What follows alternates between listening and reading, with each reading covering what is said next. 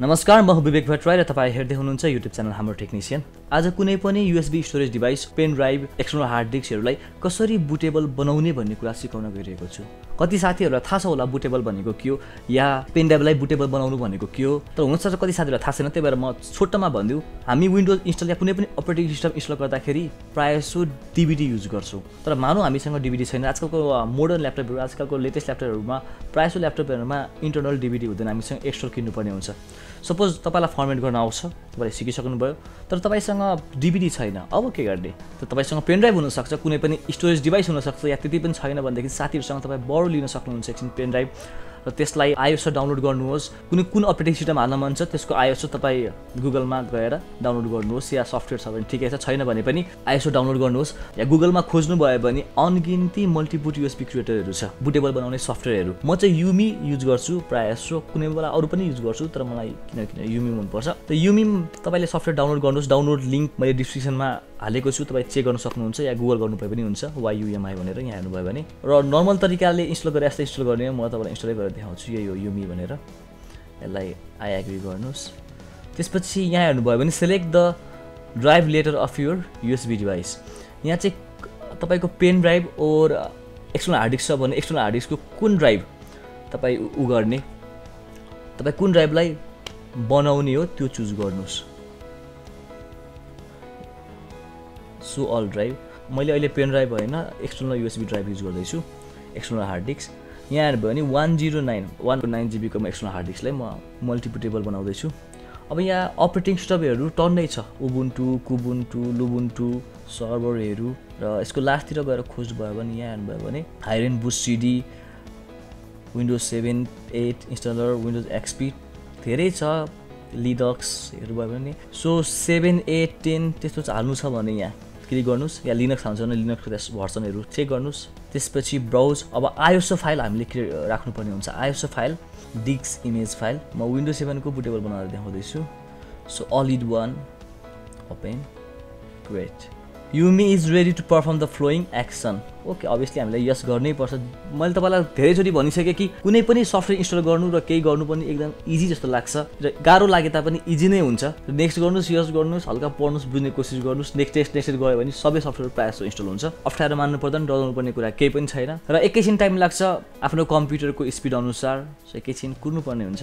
र यसमा यो युमी सफ्टवेयरमा के फाइदा छ भनेदेखि तपाईँले हुन त अरूमा पनि छ। युमीमा त सजिलो तरिकाले तपाईँ दुईवटा तिनवटा सपोज तपाईँ टेक्निसियन हुनुहुन्छ भनेदेखि तपाईँ एउटा सेभेनको डिभिडी लिनुपर्ने हुन्छ एटको टेनको एट पोइन्ट वान अरू धेरै। तर डिभिडी बोक्नै पर्दैन। तपाईँ एउटा पेन ड्राइभ लिनु सोह्र जिबी बत्तिस जिबी त्यही पेन ड्राइभमा तपाईँ सबै अपरेटिङ सिस्टम हाल्नुहोस् एक्सपी हाल्नुहोस् सेभेन हाल्नुहोस् एट हाल्नुहोस् टेन हाल्नुहोस् तपाईँ लिनक्स हाल्नुहोस् हाइरेन बुट युज गर्नुहोस् सबै तपाईँ यसमा युज गर्न सक्नुहुन्छ।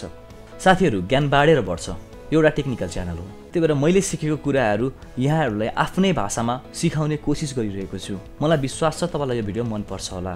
यो भिडियो मन पऱ्यो भने लाइक गर्नुहोस् आफ्नो साथीहरूसँग सेयर गर्नुहोस् र कमेन्ट गरेर हामीलाई सपोर्ट गर्न सक्नुहुन्छ। केही पनि बुझ्नु भएन भनेदेखि कमेन्ट्स गर्न सक्नुहुन्छ। र तपाईँलाई जिज्ञासा छ केही क्वेसन छ भने भन्नुभयो भने चाहिँ हामी त ट्राई गर्छौँ।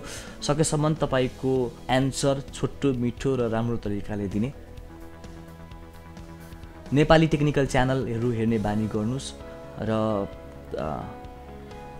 नेपाली टेक्निकल च्यानललाई सपोर्ट गर्नुहोस् कमी कमजोरीहरू सबै भनिदिनुहोस्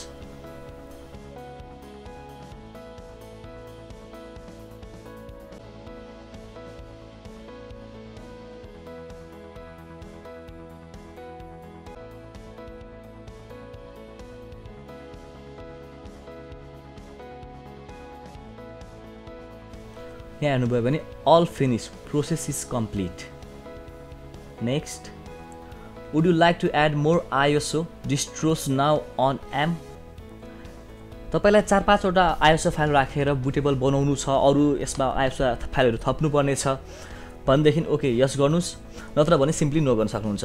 मलाई अरू पनि बनाउनु पर्ने छ त्यही भएर यस त्यसपछि ट्राई आइएसओ पासवर्ड अनलक एउटा युज गर्छु। तपाईँलाई मैले पासवर्ड कसरी क्र्याक गर्ने भन्ने भिडियो अपलोड गरेको थिएँ। तपाईँले सायद हेर्नुभयो कि भएन। हेर्नुभएको छैन भने हामी कुनै पनि एडमिनिस्ट्रेटरको पासवर्डलाई हामी सजिलो तरिकाले सफ्टवेयरबाट क्र्याक गर्न सक्छौँ। डिस्क्रिप्सनमा लिङ्क दिएको छु। हेर्नुभयो हुन्छ। So create